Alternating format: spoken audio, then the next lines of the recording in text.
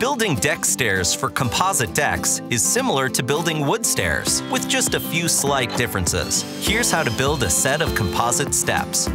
For our deck, we added our decking and railings before building the stairs. See all the steps in the previous video. It's common to build the framing with treated lumber and use composite surface material, which is what we'll do with these steps.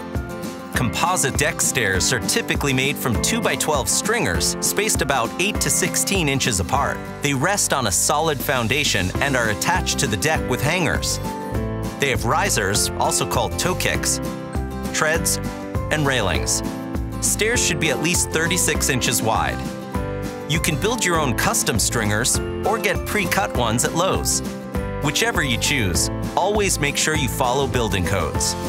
To start, Determine the location of your bottom step. Set a straight board or level on top of the decking and measure the height where you want your steps to end. For example, 55 inches. Divide this measurement by 7, the ideal height for each step. Round to the nearest whole number to get the number of risers. In this case, it's 8. Now divide 55 by 8 to get the actual height of the risers. For us, it's 6 and 7 eighths inches. If your steps are too short for your comfort, reduce the number of risers by one and calculate again. Since we're using the deck itself for the top riser, we'll subtract one step. For our treads, we're using composite decking planks, making the run about 11 inches, along with wood and composite toe kicks on the back. You can use the total run length to determine where to build your landing support. One common landing is a concrete pad, it has a 4-inch layer of gravel underneath and extends beyond the steps about 36 inches. Another option is to install concrete footers. To locate them, use the total length of the run. Also mark where the steps will attach to the deck. The posts and footers should be in line with the two outer marks. You can make the footers even with the ground. Check out our posts and framing video for steps on setting posts. When you have your footers installed and the rise and run determined, mark the steps on the stringers with a framing square. Set stair gauges at the height of the rise and the length of the run. Hold the square at the corner of the plank and mark the top run.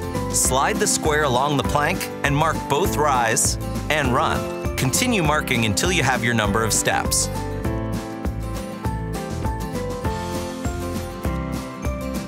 The top step, subtract the thickness of the toe kick and strike a perpendicular line. This is where the stairs attach to the deck and there is no toe kick. At the bottom step, mark the thickness of the tread to shift the entire set of stairs down. When the treads are installed, this will make the bottom step the same height as the others. Cut the stringer with a circular saw and finish with a handsaw. Use this stringer as a template to mark and cut the others. Next, install a 2x8 below the joist to attach the stringers. Brace it to the joist or beam behind. Attach the posts to the footers like you did for the deck frame. Now, hold the stringers and hangers flush with the top of the 2x8 and mark. Nail the hangers to the 2x8 and attach the outer stringers. At the bottom, screw them to the posts and attach the bottom toe kick. Then install the other stringers. Next, secure posts at the bottom of the stairs with bracing, anchors, and carriage bolts. Now cut all the toe kicks out of wood and composite. Also cut the treads. Attach the toe kicks first.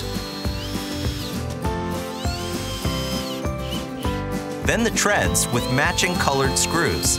Leave a small gap between the treads. For a cleaner look, we cut extra composite stringers and covered the wood stringers. After the treads are in place, you can finish with the railings. Slide on the post sleeves and glue the collars in place. Hold the bottom rail against the posts, holes centered. Mark the angle at each end and cut the rail.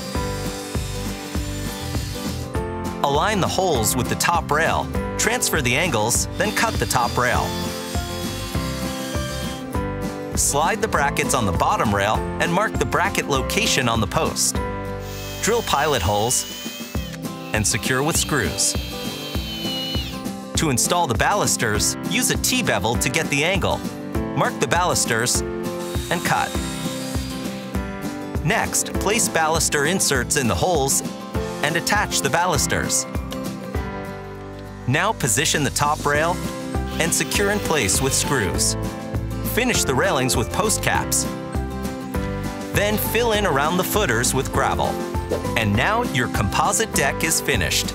Next, make your deck stand out with accessories. See how to add the finishing touches in the next video. To learn about each step of deck installation, go to lowes.com slash build a deck.